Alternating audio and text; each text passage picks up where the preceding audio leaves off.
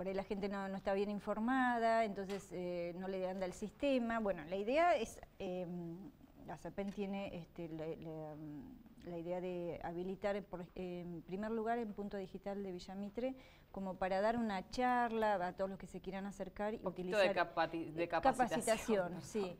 Todos los cambios cuestan. El sistema creo que, es este, muy ágil, muy bueno, si uno lo sabe usar. Este, resulta bárbaro, pero bueno, siempre hay que, dar un poco más de información. ¿En el Totem el, sistema es muy distinto al anterior? Mm, no, no, no, no, justo Tarjeta por aproximación. y... más o menos el mismo sistema que, que en el celular. O sea, lo que tiene este sistema es que hay tres opciones para todos los gustos. El primero es el sistema a través de la aplicación bajo la aplicación de Sapen Parking, cargo los datos, em, los datos de, la persona y de la patente, del dominio. Se puede cargar más de un auto aparte. Sí, creo que son más de cinco que podés cargar. Y cargo crédito porque algunos no, como te comentaba, por ahí no le funcionan, pero porque no tienen crédito. Claro, ¿y cómo cargo crédito? Bueno, el crédito lo haces a través del mismo sistema por cualquier medio electrónico. Esa es una de las opciones que tiene este, la aplicación. Puede ser tarjeta de crédito, tarjeta de débito, em, o mercado de pago, o si no tengo ningún medio de estos este, electrónicos, puedo ir a un kiosco de la misma manera que cargo la tarjeta, cargo el crédito en el celular. O sea que tengo todas las opciones. Sí. Bien.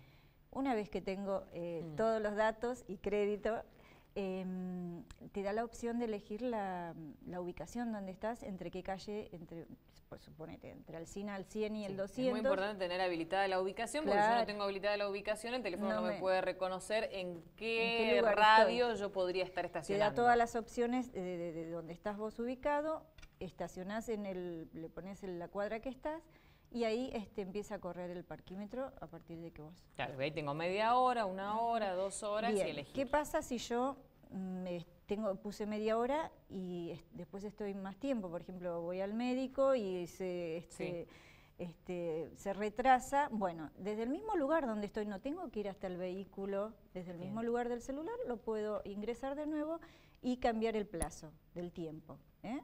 Eso es, eh, eso no tengo que Pero lo que es importante es estar más o menos en la misma ubicación, porque si ya me, si yo fui caminando y fui a otro lugar. No, no, porque mm, vos estás estacionada entre el 100 y el 200 y, este, ahí podés utilizarlo de, la misma manera. Este, cambias el plazo que tenés, por ejemplo, o por ahí, si no sé cuánto tiempo voy a tardar, termine, acomodar. Te avisa, y aparte te avisa al, celular. Y otra cosa, por ahí, si no sé cuánto voy a tardar, pongo dos horas, total, cuando cierro el Claro, cierro el estacionamiento y lo cobra fraccionado. ¿eh? Esa es una opción. La otra opción es cargar este, la tarjeta, usar la tarjeta urbana, que se, cambió, la que teníamos antes, se cambió el sistema, entonces por aproximación, en un tótem, en donde están los parquímetros, que todos están a 100 metros, eh, o sea, ninguno, porque a veces por ahí dicen, no, ahora camino más, no, todos están a una distancia de 100 metros de donde estoy estacionando. El único que tiene un poco más de, radio, que casi son 200 metros, es el, el último anillo. Pero el resto está siempre a 100 metros de donde estoy. ¿eh? Tendría que buscar el más aproximado, que también te sale. Pongo, es por aproximación y también voy a poner la ubicación, que está por abecedario. Por ahí, no, ahí me da todas las, ubicaciones, este, busco por abecedario todas las calles y este, hago el mismo procedimiento.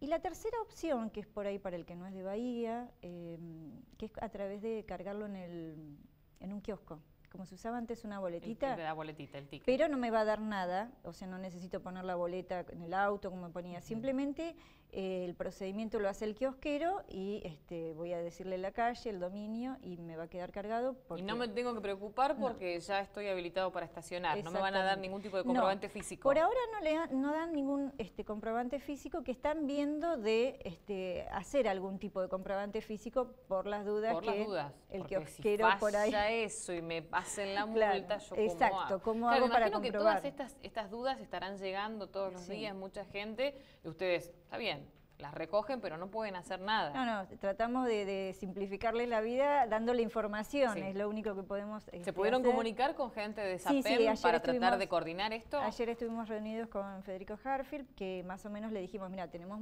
muchas consultas, ¿en qué podemos ayudar este, para, agilizar esto?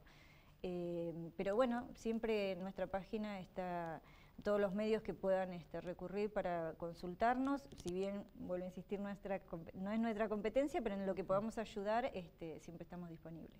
Bueno, bien, entonces a, tratar de buscarle la vuelta, esto de la capacitación sería importante. Sabemos que para nosotros quizás hablar de una aplicación de celular puede ser sencillo, o medios de pago electrónico, si uno ya está metido en el... si eh, la gente se acerca a la SAPEN, los mismos empleados le, ayudan a bajar el sistema o lo acompañan hasta el tótem este, para explicarle, eh, porque a veces es, cuestión de, bueno, tomarse unos minutitos y que alguien te explique. Sí, sí, sí, sí. Una vez que quizás alguien que ya lo maneja te lo explica, es más sencillo uno se encuentra, claro, se encuentra ahí, por ahí, este, bueno, con que alguien te lo explique, aunque sea una vez, por ahí este, ya te resulta más sencillo. Bien, bueno, Pamela, ¿dónde encuentra la gente a la OMIC todo en el Donado 242, en la exterminal, en la ciudad de Villamitre y, en Nido, los miércoles en Nidos de 9 a 13. Bueno, muchísimo. ¿Mañana, que es 11 de abril, van a estar igual? No, mañana no. Bien, bien, hacemos la salvedad entonces, porque como hay bastante confusión sobre quiénes están y quiénes no, están. Tenemos, este, sí. es para las eh, Y entonces tampoco la OMIC funciona mañana. No, no, no, funciona en ningún lugar de la administración pública ni judicial. Ni Bien, ahí estamos.